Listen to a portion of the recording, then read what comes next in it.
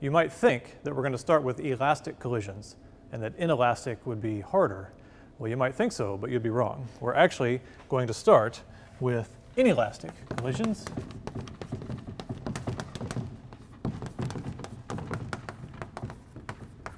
And first, I'll just point out one thing about them is that the kinetic energy that you lose uh, may be converted to uh, potential energy,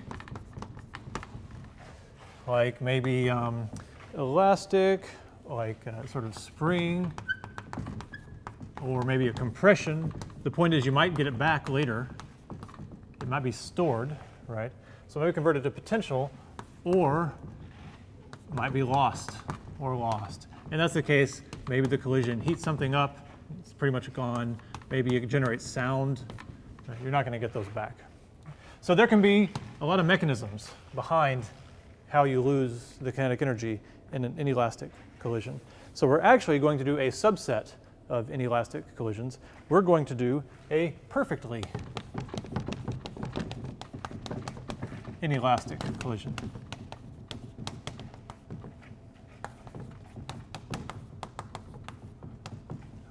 Right, so perfectly inelastic collision, and that basically means when the two objects stick together,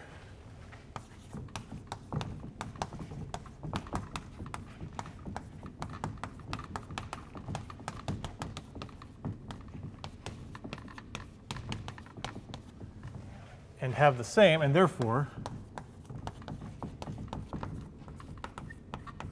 have the same V final. They essentially make one big object. So we'll look at this um, on our air track in a minute. And the two masses we'll be using to demo everything are this one and this one, or to get started, they're, they're the same mass. And this is the elastic end. So these are springs, and when they hit, they bounce back. And this is the perfectly inelastic end. I put some tape on them, and when they hit, they're stuck together. All right? So these are the little masses we're going to be thinking about. Okay?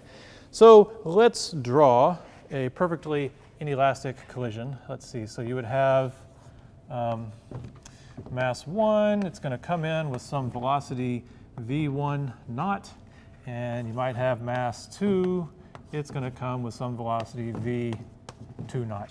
But then the point of a perfectly inelastic collision is that in the end, they make one mass. It has a mass m1 plus m2. And it moves with some velocity. And it might be this way, it might be that way. I'm just going to draw, and I'm not going to put a number on, I'm just going to call it v final to remind you that it really is one object that's moving when it's complete. So this is inelastic because some energy went into the bond, the binding of holding these two together. Something is stored in whatever is holding those two together. In this case, it's the tape. So even though we may have lost kinetic energy, we always conserve momentum. There's no external uh, impulses here. So the P, the momentum initial, or I'll call it P naught, must equal P final. So P naught is going to be M1 V1 naught plus M2 V2 naught. Now, velocity is a vector, the direction matters right? So we, we do have to treat this as a vector, but often in 1D we don't write it as a vector. If we can just remember to think of these as the vector component, even though it's 1D, the component is just the, the size of the vector. But what I'm saying is, if it's to the right, we're going to define that as positive, say plus x, and if it's to the left, we'll call that negative. So in a problem, when you go plugging in v2 naught, you need to plug in a negative number if it's going that way.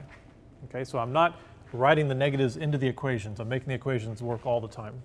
And then you put in whether it's negative or positive when you plug in the value. Um, let's see, the final momentum would just be what? It would be the sum m1 plus m2 times v final.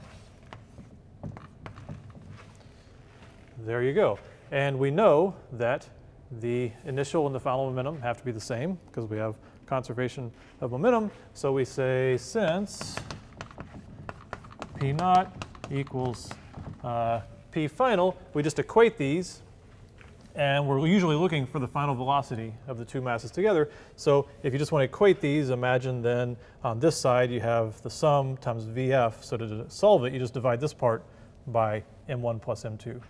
So since those have to be equal, we can do a little algebra in our head and say it must be M1 V1 naught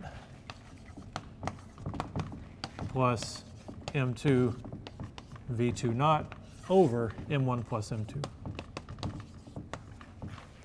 And that is the velocity of the final object.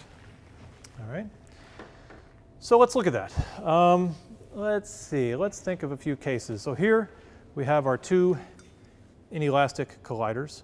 And we could say if they're coming right at each other, and the initial momentum, if they're coming at each other the same mass, the same uh, velocity, the initial momentum is zero. Therefore, the final momentum should be zero. So one case we could do is make the masses equal, they are equal, and the velocity is equal. Then you're going to get zero in the numerator.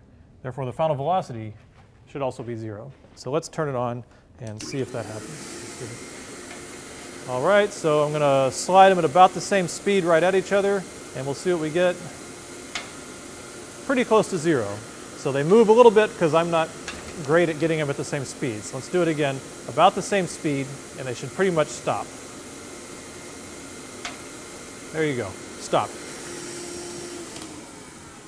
Uh, let's see if we can think of another interesting case to try. So that was opposite velocities. What if we have one sitting still? Let's have mass 2 just sitting still and mass 1 hits it. So mass 1 v1 naught is positive, v2 naught is 0. What the equations would tell us is this term is 0, it's gone, is that the final velocity, it's going to have to go down. Right? We have to conserve momentum. So we had a small light thing moving fast, but when they stick together, the mass goes up. If the mass goes up, the velocity goes down. So you can see the final velocity is a fraction of the initial velocity based on the increase in mass. And that will, of course, happen.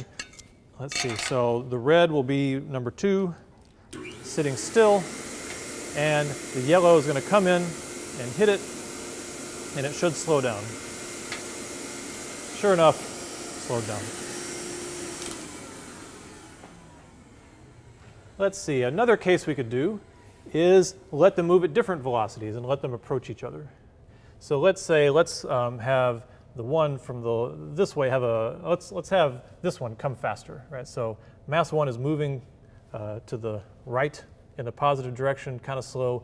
Mass two is moving from uh, the left in the negative direction fast. They have the same mass, so you know this one has more momentum, more momentum, so it should win.